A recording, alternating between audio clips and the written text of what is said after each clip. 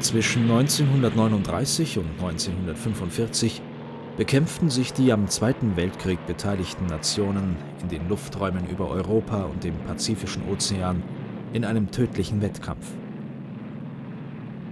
Es ging um die Eroberung der Luftherrschaft. Nur wer sie innehatte, konnte auf den Sieg hoffen.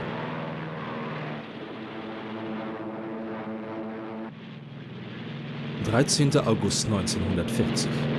Das deutsche Oberkommando nannte diesen Termin Adlertag. Es war der Beginn der Luftkriegsoffensive gegen England.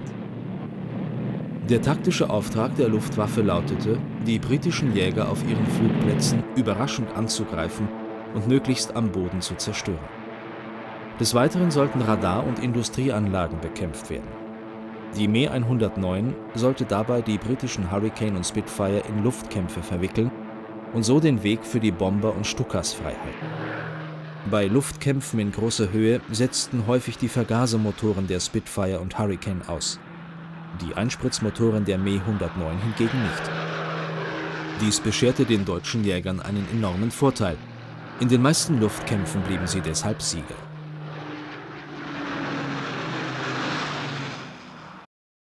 In den ersten Wochen des Krieges überrannten die japanischen Streitkräfte alles, was sich ihnen in den Weg stellte.